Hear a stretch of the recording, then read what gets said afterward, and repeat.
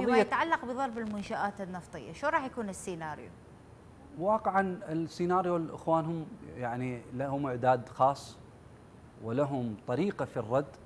أنا أعتقد إنه الجغرافيا العسكرية آه، والمصالح الاقتصادية للكيان الصهيوني والأمريكي متوفرة وموجودة وسهلة الوصول يعني. ليس لا يمكن أن نقول إنها صعبة المنال.